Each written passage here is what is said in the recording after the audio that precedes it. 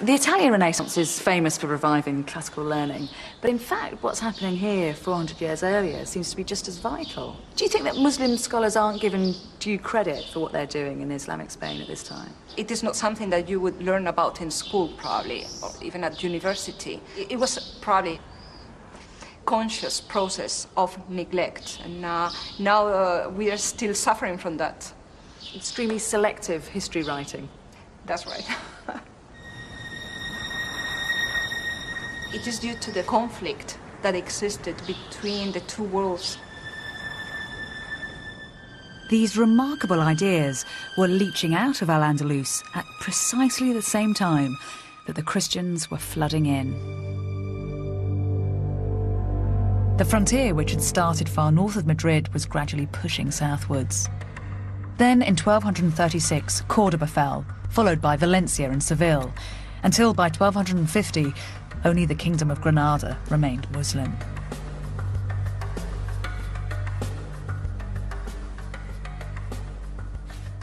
From now on, Spain would concentrate on cleaning the Muslim presence from its country.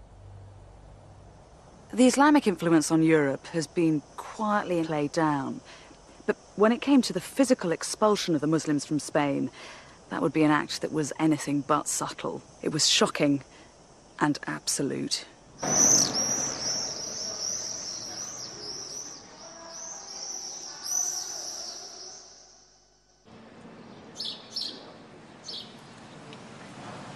The history of Al-Andalus was about to take a new and sinister turn.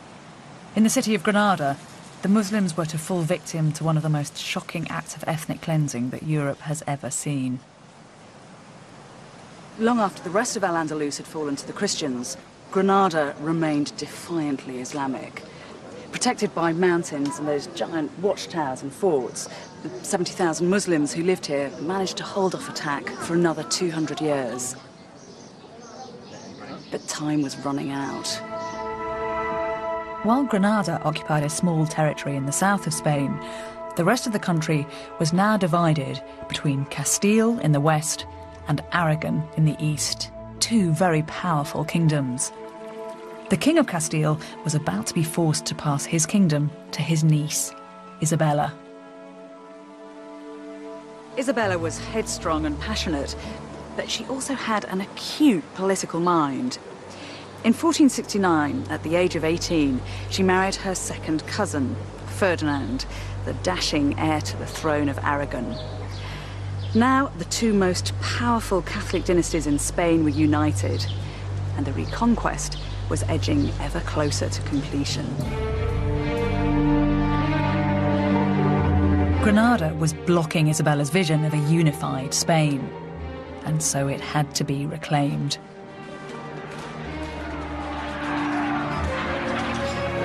The city was laid to siege for a year before it finally surrendered. On the 1st of January 1492, Ferdinand and Isabella dressed in elaborate Moorish outfits, which they'd had especially made. With great pomp and circumstance, they entered the Palace of Alhambra and took the keys to the city. As the Muslim ruler Boabdil left in tears, it was said that his mother spat out at him, Do not weep like a woman, for that which you cannot defend like a man. Isabella's victory in Granada put an end to an incredible society. In the 700 years that they'd been in Europe, the Muslims of Al Andalus had built a culture which was the very pinnacle of civilized life, influencing Europe in ways that we're only just beginning to understand. And Isabella would endeavour to ensure that Islam in the West would never enjoy such a relationship again. A few years after Ferdinand and Isabella came to power, they set up an organisation that affected the most extreme form of religious control that Europe has ever known. The Inquisition. The purpose of the Inquisition was to track down and eliminate anyone who wasn't an Orthodox member of the Catholic Church. Those found guilty of heresy were subjected to a sinister public ceremony called an auto da fe. In this eerie ritual, vestiges of which are still performed today, the guilty were forced to repent their sins while their accusers watched on, hidden under hooded caps.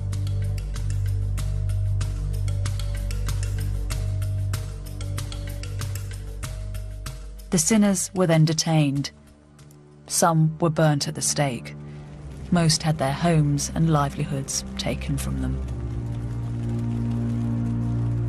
In 1526, the Spanish Inquisition came to Granada to deal with the Muslim problem. Muslims were labelled heretics and given a stark choice convert to Catholicism, leave the country, or be punished.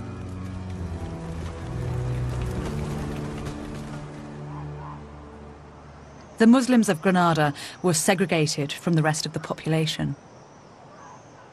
Their ghetto survives as the old quarter of the city today. It's a fantastic house. oh, thank you. Many of the houses that the Muslims were forced out of are still standing. Antonio Orihuela lives in one. It's almost inverted because you don't have any windows looking out onto the street, but the, but the focus is, is in the middle here on the courtyard. Yes, the courtyard is the center of the family life. So all the doors and windows are open to the courtyard and closed to the, to the street. Privacy was one of the most important characteristics of these houses. Outside the house, they were Christian.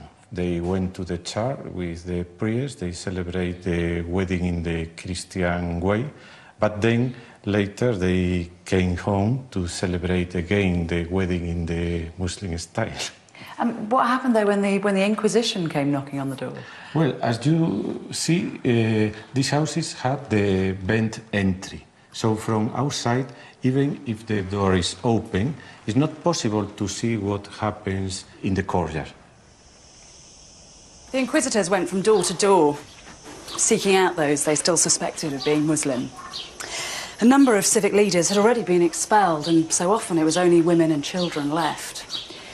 They herded them up and held them in churches by night so they could be tried the following morning. Some of the women cried out that they were like lambs being taken to the slaughter and wished that instead they'd been allowed to die in their own home. The Inquisition was so brutally efficient that within 20 years, all Muslims in Spain had been forcibly converted to Catholicism. But this wasn't enough. Many still continued to practice their faith in private.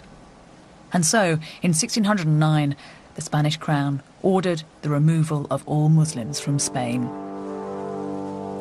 Perhaps the most shocking thing in the expulsion is they were not actually expelling Arabs, nor were they expelling Berbers. The huge majority of the people that were being expelled by blood, by DNA, if you will, were as Iberian as their Christian cousins in the north who were kicking them out of the peninsula. It's really quite, it's an enormously different vision of what the expulsions were and what they meant when we realize that the people who were being thrust out were as native to the peninsula as the Christian kings.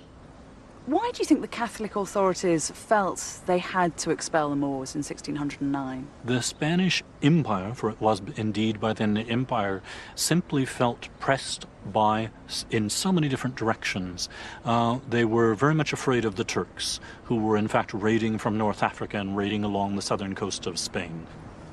They were fighting wars still in the Americas. It was one internal problem that they simply could not deal with any longer. In 10 years, over a quarter of a million Muslims were expelled from Spain. Forbidden to take any possessions with them, most sought refuge in North Africa.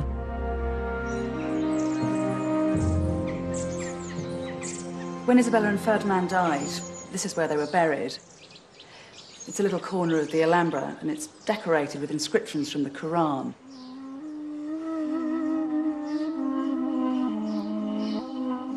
They read, There is no true God but Allah.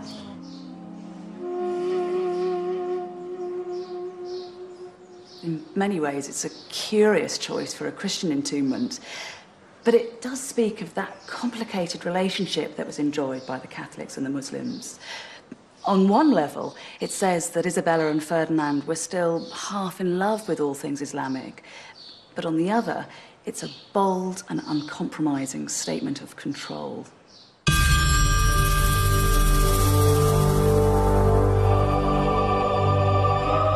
Cordoba, the new Catholic rulers did something unbelievable. In a daring act of what can only be described as inspired vandalism, architects gouged out the centre of the mosque. In its place, built one of the most spectacular cathedrals in Spain.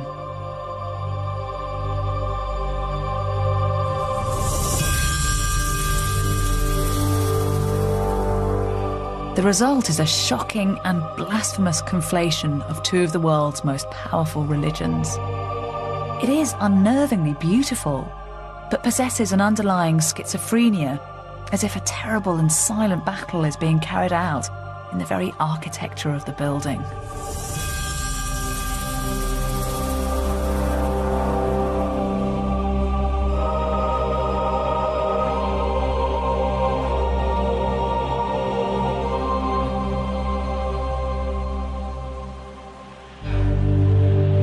Spain's troubled relationship with its Muslim past continued into the 20th century. The dictator Franco invented his own version of his country's heritage.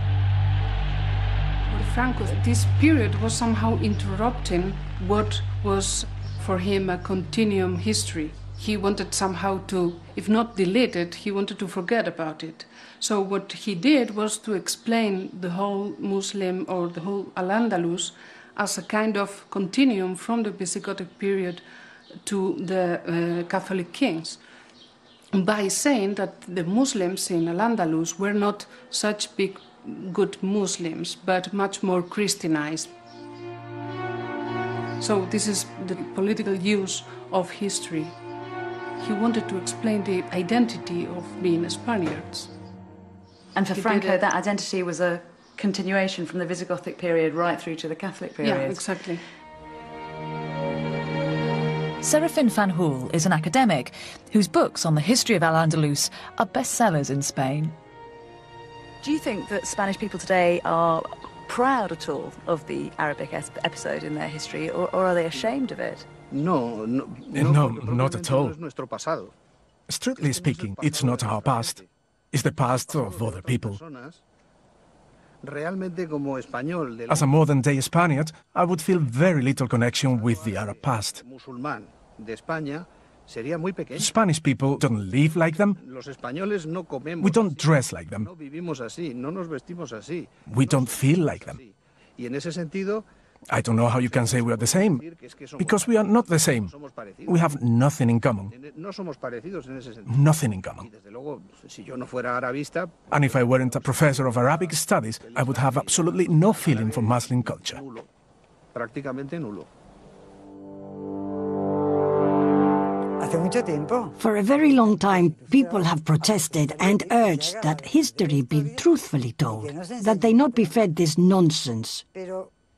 But this is the inheritance of the Inquisition. The Inquisition's character is alive and well. I can tell you one thing. Spanish people have a tendency to prevent others from speaking their minds, a tendency to try and control the way others behave and think. You can be sure that when you try and speak the truth, you pay for it.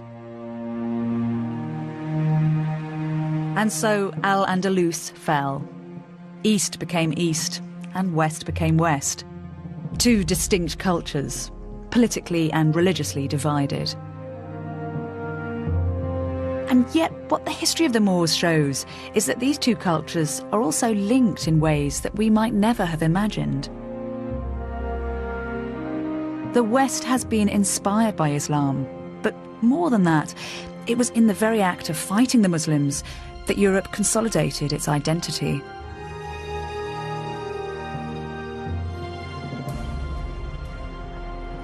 When we started, Christopher Columbus was setting sail for the New World. And as he pointed his boats westwards, Spain aligned herself with him, turning away from the east. The Muslims had been fought, and now they were to be forgotten. As time went by, memories of the Islamic past were moulded until they became a more comforting storybook version of history. But this is a case where truth really is stranger than fiction. The story of Al Andalus isn't a simple tale of good versus bad, east versus west. It's intriguing and complicated, it's brilliant and brutal, it's very human, and it's very messy. And it's for precisely that reason that it needs to be remembered, not written out of the history books.